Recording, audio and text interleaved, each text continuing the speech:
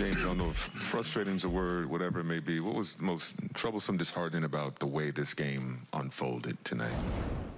Uh, we just we had a good start or a good spurts of playing really good, and then we just we didn't, um, you know, we didn't have too many of them.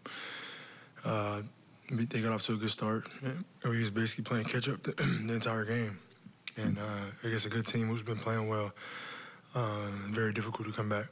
You guys have been doing better lately as far as taking care of the basketball tonight. the turnovers, you know, the numbers were, were pretty high. Uh, what would you what do you attribute that to? A little bit of everything.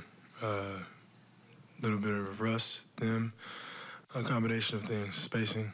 Uh, just wasn't wasn't good. It wasn't where we've been uh, these last few weeks. I'm curious when you have a you know you got a team coming on the second half of back to back. Um, are you surprised kind of at the start that you guys had against them? Um, and secondly, for you personally, I mean, I know the way you've been playing of late, seven turnovers is uncharacteristic yeah. of the way you've been playing of late. Was, was there anything that they were doing in particular that kind of threw you off, or do you just look at uh, a little, a little bit of both. A little bit of both. You know, um, Mikal Bridges did a really good job of just picking me up full court the entire game.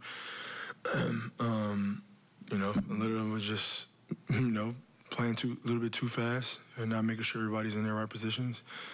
Um, so it's a little bit of both. James, I know at, at, the beginning of the year you were saying that you were still kind of working through the hamstring. Uh, is that something that's still bothering you at all, or is that a thing of the past? No. Okay, and I guess following up on that in terms of just like when you choose to pass and when you choose to shoot, is there like I guess kind of my question is last year we had the situation where you moved to the one and Kyrie moved to the two, right? And that was a whole big thing. You're the point guard now. He's the two, and now Kyrie's gone. Uh, do you, I guess, have to assume more of a scoring responsibility now without him out there, or? Honestly, I'm trying to figure all that out right now.